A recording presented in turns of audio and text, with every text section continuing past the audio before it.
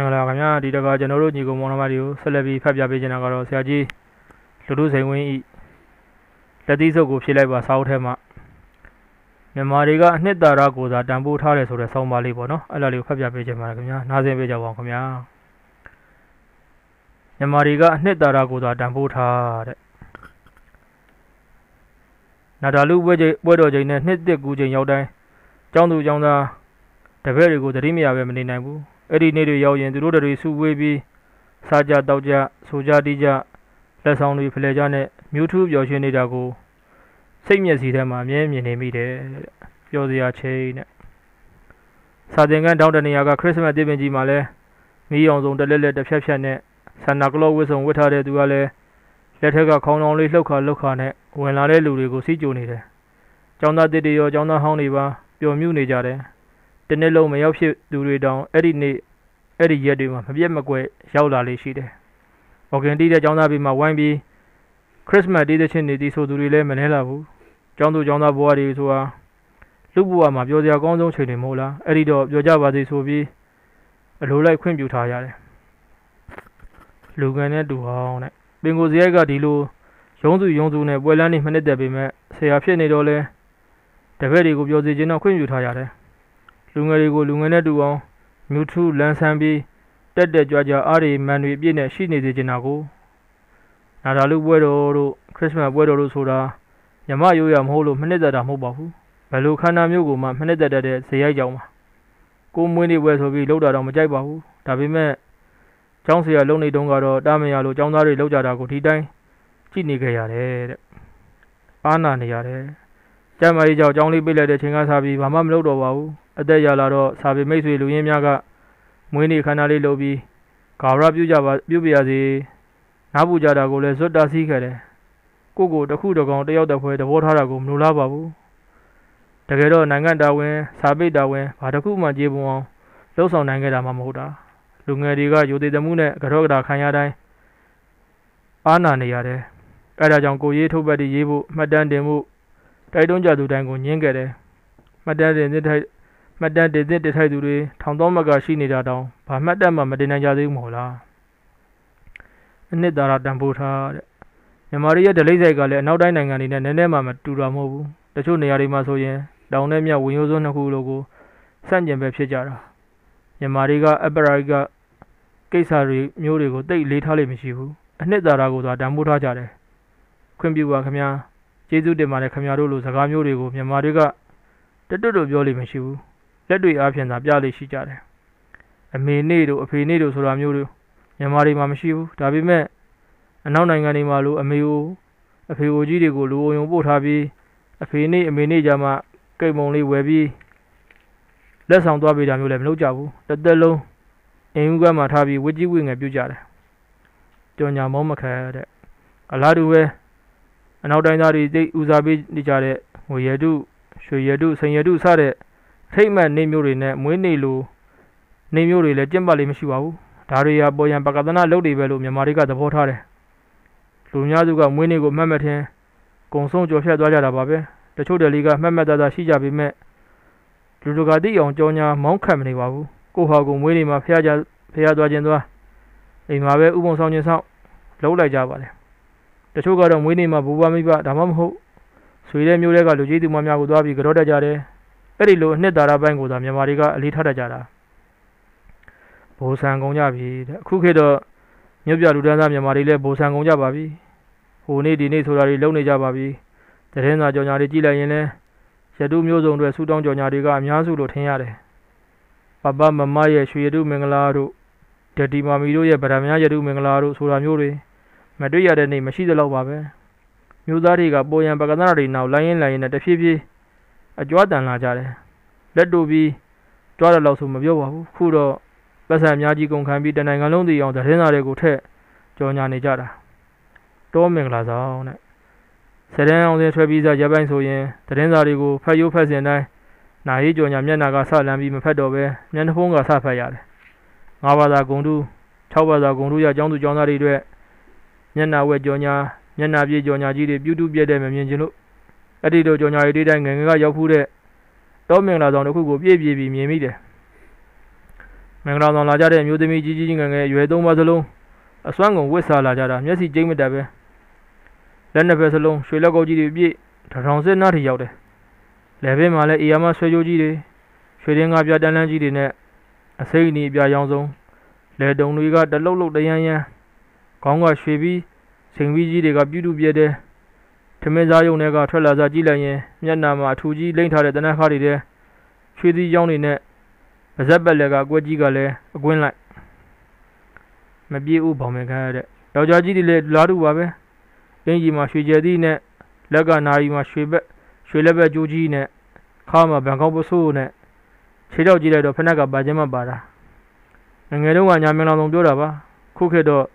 တော့ရာတွေမှာလည်းပညာတတ်တွေဘွဲရာတွေပေါ်များလာပြီးဖြစ်တော့ရှေ့ကလို့မဟုတ်တော့ပါဘူးအသိဉာဏ်ပညာနဲ့ဘုသူရာခေါင်းပါသူတွေသာကြွားဝကြွားတက်ဝါတက်ကြတာပါမပြည့်တဲ့ဥဘောင်ဝင်ခတ်ဆိုသလိုပညာဘုသူရာဆင်းရဲနှုံချသူတွေဟာအကြွားတန်ကြတာပါပြေဝရင့်ကျက်သူတွေကဘဂသနာတွေကိုနှာခေါင်းရှုံပြီးအနှစ်သာရကိုသာတန်ဖိုးထားပါတယ်တည်ရမယုံဘူးတဲ့အနှစ်သာရကိုသာတန်ဖိုးထားကြလို့လဲမြန်မာတွေကလူတကာဒီမိုကရေစီအတိုင်းလိုက်အော်မနေကြပါဘူးစ ပွန်ဆာဒီမိုကရေစီလမ်းညွန်ဒီမိုကရေစီဟိုဒီမိုကရေစီဒီဒီမိုကရေစီဆိုတာတွေကိုလူတွေကသိတဲ့ကြီးမယူပါဘူးငွေများတရားနိုင်တဲ့ဒီမိုကရေစီဥပဒေထက်မှာလူတွေအများကြီးရှိနေတဲ့ဒီမိုကရေစီကြောင်းသိနေကြလို့ပါအရေးကြီးတာကတရားဥပဒေနဲ့ညီတရားဥပဒေဘောင်တွဲမှာစိတ်ချလက်ချနေထိုင်လောက်ကန်စားတောင်းနေနိုင်ရတာဖြစ်ပါတယ်တရားဥပဒေရဲ့ကာကွယ်ဆောင်ရှောက်ကိုအပြည့်အဝခံစားရရှိမှလည်းအနှစ်သာရရှိတဲ့ဒီမိုကရေစီလို့ ခေါ်နိုင်မှာဖြစ်ပါတယ်တဲ့29ရက်12လ2010တဲ့မင်္ဂလာခင်ဗျာဒီတခါကျွန်တော်တို့ညီကောင်မောင်နှမရုပ်ဆက်ပြီးဖတ်ပြပေးချင်တာကတော့ဆရာကြီးလူတို့စိန်ဝင်းဤလက်သီးစုပ်ကိုဖြေလိုက်ပါစာအုပ်ထဲမှာညောင်ကမ်းမမပြိုအောင်ကြိုတင်ကာကွယ်ဖို့ဆိုတဲ့ဆောင်းပါးလေးဖတ်ပြပေးချင်ပါတယ်ခင်ဗျာနားဆင်ပေးကြပါဦးခင်ဗျာညောင်ကမ်းမမပြိုအောင်ကြိုတင်ကာကွယ်ဖို့တဲ့ဂျပန်ငယ်လင်ကြီးလှုပ်တဲ့နေ့ကစားပြီး နေ့စဉ်ရေးရမယ့်စာတွေမရေးနိုင်ဘူး CNN ကိုပဲတောက်ချောင်ဖွင့်ပြီးကြည့်နေမိတယ်သတင်းသမားညင်ကမပြောက်ဘူးစိုင်းတန်ကြရင်မနေနိုင်တဲ့တပင်စလိုဖြစ်နေတယ်တဲ့တပည့်တွေကိုပူကြတယ်တဲ့ကြည့်ပြီးစိတ်မကောင်းဖြစ်ရတာကြောင့်စာရေးကျင်စိတ်လည်းမရှိဘူးတပည့်ကျောင်းသူကျောင်းသားတွေအများကြီးဂျပန်ရောက်နေတာကြောင့်သူတို့တွေလည်းစိတ်ပူရတယ်လဲလန်းမိတဲ့တပည့်တွေအိမ်ဖုံးဆွဲတော့သူတို့လည်းဆက်သွယ်တွေပြတ်နေလို့စိတ်ပူနေကြတယ်ဆိုတာပဲသိရပြီးစိတ်မကောင်းထက်ဖြစ်ရပြန်တယ် တရင်နေကြီးကမြင်ရတာကလည်းအချိန်ကြာလေးလေးပို့ပြီးတုံလို့ချောက်ချလေးဖြစ်လာတယ်။ဆက်ဖြစ်တဲ့နေ့ကတူဂျိုကပို့တဲ့တရင်လောက်ပဲသိရပေမဲ့နောက်ရက်တွေကျတော့ငလင်တန်ခံရဆုံးဒေသတွေကတရင်တွေနဲ့ပုံတွေပါမြင်ရတွေ့ရတော့ကြောက်ခမန်းလိလိပါလားလို့သိပြီးတော်တော်တုံးလုံးသွားရတယ်။အမေရိကထိရောက်တဲ့ငလင်ရဲ့နောက်ဆက်တဲ့ကပ်ပါလာတဲ့ဆူနာမီလိုင်းလုံးကြီးတွေကလည်းကြောက်စရာလန့်စရာကိုရီးယားတိုင်ပေဖိလစ်ပိုင်စတဲ့ပတ်ဝန်းကျင်ဒေသတွေသာမက အမေရိကပစိဖိတ်ကမ်းခြေဒေသနဲ့ချီလီလိုတောင်အမေရိကနိုင်ငံတွေပါရိုက်ခတ်တဲ့ညောင်ဦးကမ်းမပြူဟာနဲ့ဆမနကူကနမပုံကျိုးဆိုတဲ့မြန်မာတို့ရဲ့ဆိုးစကားကိုအရင်ကတော့ရေစီရလို့ပြောတာပဲလို့ထင်ခဲ့မိတယ်အခုမှကောင်းကောင်းနားလည်ရတော့တယ်ကိုကပဲဘူးသူရနဲလို့လားမသိဘူးဆူနာမီရေလိုင်းဆိုတဲ့စကားရှေ့ကမကြဘူးခဲ့ဘူးခုခေတ်မှာစကြဘူးတယ်ရှေ့ကမကြဘူးတဲ့ဆူနာမီတဲ့ရှေ့ကလည်းငလင်ကြီးတွေလှုပ်တာ ကြုံဘူးကြဘူးပါတယ်မြန်မာပြည်မှာအပြည့်စီအတော်အသင့်များခဲ့တဲ့စကိုင်းငလင်ကြီးနဲ့ဗကံငလင်ကြီးဆိုကိုယ်တိုင်ကြုံတွေ့ခဲ့ဘူးတယ်ဘကုန်းငလင်ကြီးအကြောင်းတော့ဆရာကြီးရှူတောင်ရေးတာပဲဖက်ပြီးသိရတယ်လူပေါင်းများစွာအသက်ဆုံးရှုံးခဲ့တဲ့တရုတ်ငလင်ကြီးချီလီငလင်ကြီးကိုဘေးငလင်ကြီးစတဲ့ငလင်ကြီးတွေလည်းဖက်ခဲ့ကြခဲ့မြင်ခဲ့ဘူးတယ်အဲ့ဒီချိန်တွေတုန်းကဆူနာမီဆိုတာမကြဘူးပါဘူးမကြခဲ့ပါဘူးအင်ဒိုနီးရှားပင်လယ်ရေအောက်မှာလှုပ်ခဲ့တဲ့ငလင်ကြီးကြမှာပဲဆူနာမီဆိုတဲ့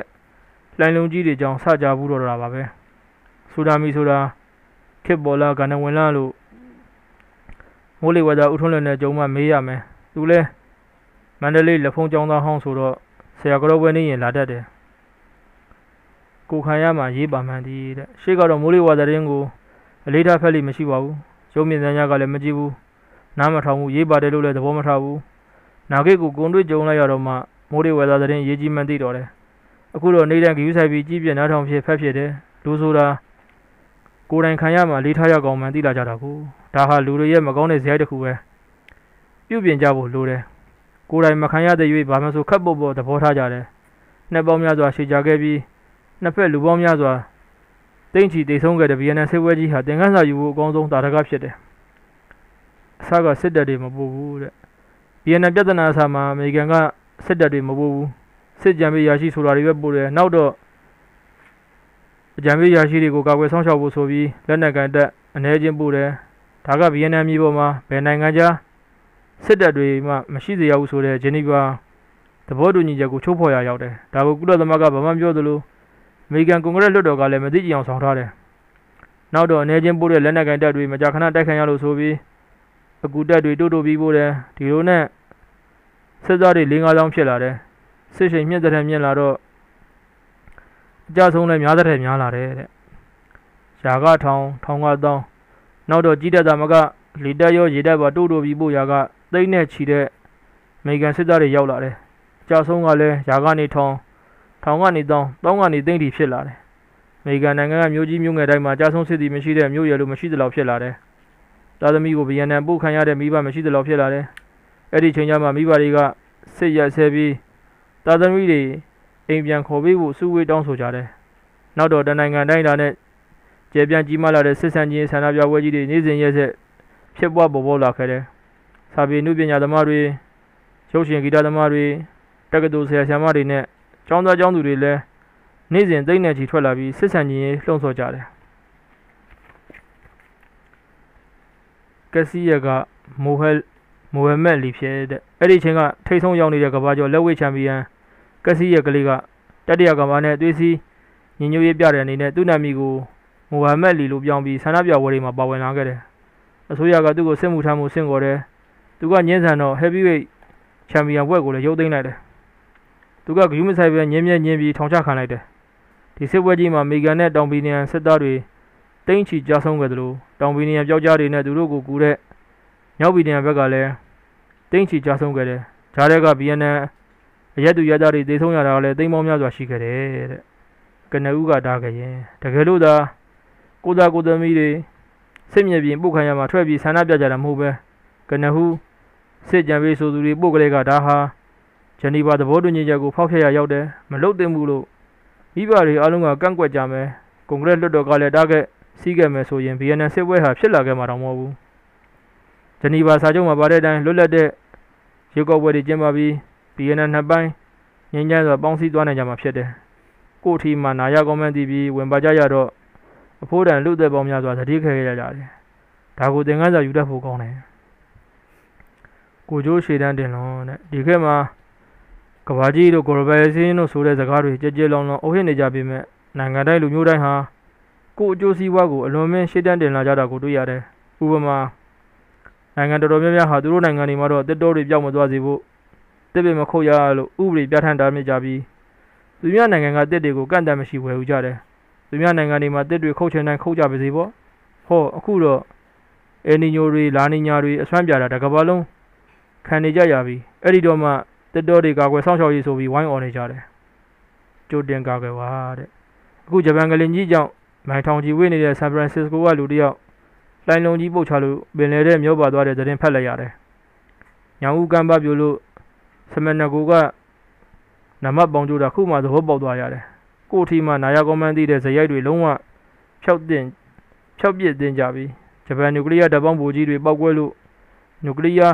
ယိုစိမ့်မှုတွေဖြစ်လာရင်တိတ်ကြောက်စရာကောင်းလာပါတယ်။ညောင်ဦးကမ်းမမပြိုအောင်ကာကွယ်တင့်ကြတယ်လို့တတိပေးနှိုးဆော်လိုက်ပြစေတဲ့73ရက် 17လ2021တဲ့မင်္ဂလာပါခင်ဗျာဒီတခါကျွန်တော်တို့ညီကိုမောင်နှမယူဆက်ပြီးဖတ်ပြပေးချင်တာကတော့ဆရာကြီးလူထုစိန်ဝင်းဤလက်သီးစုပ်ကိုဖြည့်လိုက်ပါစာအုပ်ထဲမှာဓာတ်ပုံသတင်းတောင်နဲ့ကြုံဝေဆိုတဲ့ဆောင်းပါးလေးဖတ်ပြပေးခြင်းပါခင်ဗျာနားဆင်ပေးကြပါဦးခင်ဗျာဓာတ်ပုံသတင်းတောင်နဲ့ကြုံဝေတဲ့မင်္ဂလိနှစ်ယောက်နဲ့ရော်ရော်လေး၃ယောက်တနေ့မှရောက်လာပြီးမိတ်ဆက်ပါတယ်ဂျာနေတိုက်တွေကပါမေဂျင်နာလေးတွေမေးခွင့်ပြုပါလို့ပန်းကြပြီး သူတို့ကြုံတွေ့ရတဲ့ပြဿနာတွေကိုတင်ပြကြတယ်ဆေးရုံပေါ်ဓာတ်ပုံရိုက်တဲ့ကိစ္စပထမဆုံးမေးတဲ့မေးခွန်းကတော့ရာဇဝတ်မှုတစ်ခုကြောင့်ထိခိုက်ဒဏ်ရာရပြီးဆေးရုံတက်ကုသခံရသူတဦးကိုဓာတ်ပုံရိုက်ပြီးဖော်ပြခွင့်ရှိမရှိဆိုတဲ့ကိစ္စပါဒီကိစ္စကိုဆိုင်ရာရဲစခန်းရဲ့ခွင့်ပြုချက်ရယူဖို့လိုမလို့သိကျင်လို့ပါလို့ဆိုပါတယ်ဆေးရုံတက်ကုသခံရသူကရာဇဝတ်မှုနဲ့ရေးယူခံရပြီးရဲရဲစောင့်ကြပ်မှုနဲ့စေယုံတက်နေရတာဆိုရင်တော့ ရဲစခန်းတာဝန်ရှိသူတွေကခွင့်ပြုချက်ရယူဖို့မလွဲမသွေလိုအပ်တယ်။အဲဒီလိုမဟုတ်ဘဲစေယုံတက်နေသူကခံရသူတရားလိုဖြစ်ပြီးအမှုဖွင့်ခံထားရသူမဟုတ်ရင်ရဲခွင့်ပြုမလိုဘူး။ကာကန်ရှင်နဲ့စေယုံတာဝန်ရှိဆရာဝန်ရဲ့ခွင့်ပြုချက်ရရင်ရယူနိုင်ပါတယ်။ကာကန်ရှင်ကတက်မပြေသေးတဲ့ကလေးငယ်ဖြစ်ရင်မိဘအုပ်ထိန်းသူရဲ့သဘောတူညီချက်လိုတယ်လို့ဖြေလိုက်ပါတယ်။လမ်းညွန်ရှိသလားတဲ့ စေယုံဘောကလူနာကိုတပ်ပုံရတဲ့ကိစ္စနဲ့ပတ်သက်ပြီးလွန်ခဲ့တဲ့10နှစ်ကျော်ကဆောင်းပါးတစ်ပုဒ်ရေးခဲ့ဘူးတာတတိယလိုက်ပါတယ်။ဂျပန်သတင်းစာဆရာတဦးရေးတဲ့စာအုပ်ထဲကအကြောင်းအရာတစ်ခုကိုကောက်နှုတ်ပြီးရေးခဲ့တာပါ။စေယုံတွေပေါ်မှာဓာတ်ပုံရိုက်တာနဲ့ပတ်သက်လို့သတင်းစာတွေမှာလမ်းညွန်ကျင့်ထုံးများရှိသလားတဲ့။ဆောင်းပါးရှင်တဦးကဂျပန်သတင်းစာတစ်စောင်မှာရေးပြီးမေးခွန်းထုတ်လိုက်တာပါ။မေးခွန်းဖြစ်လာရတဲ့အကြောင်းရင်းက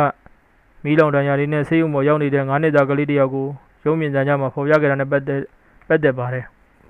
ကိုဝေးမျိုးကကလေးကိုပြန်ပေးဆွဲပြီးပြန်ပေးသမားကမီးရှို့နှိပ်စက်တာပါ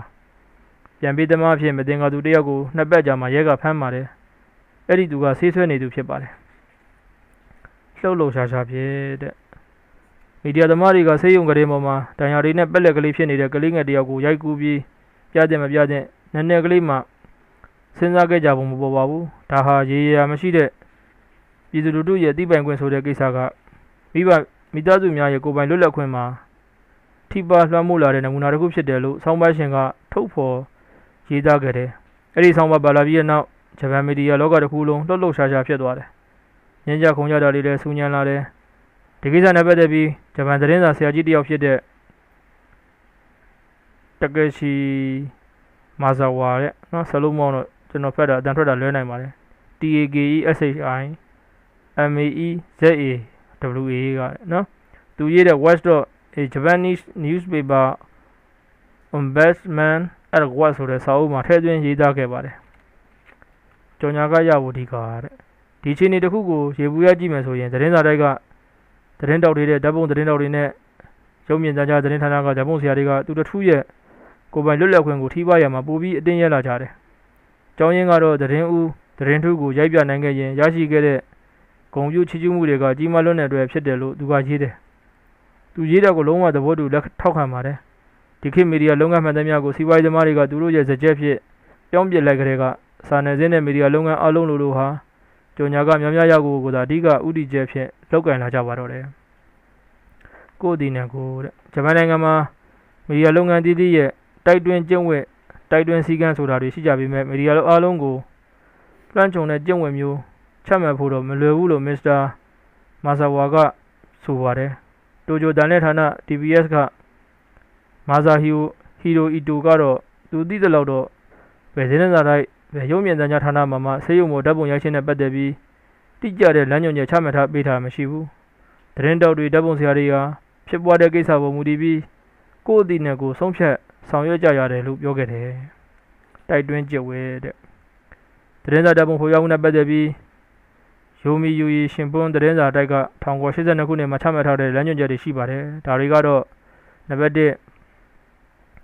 အောက်ဖော်ပြပါပုဂ္ဂိုလ်မျိုးသားများအားခွင့်ပြုချက်တောင်းခံရမလို့ပဲလွတ်လပ်စွာတပ်ပုံရိုက်နိုင်ခွင့်ရှိသည်ဟုယူဆနိုင်သည်။ကာကြီးအများပြည်သူလူထုနှင့်ဆက်ဆက်ပတ်သက်မှုတနည်းမဟုတ်တနည်းရှိသူများနိုင်ငံရေးကောင်းဆောင်များစီးပွားရေးလုပ်ငန်းရှင်များအဖွဲ့အစည်းကောင်းဆောင်များခါခွေး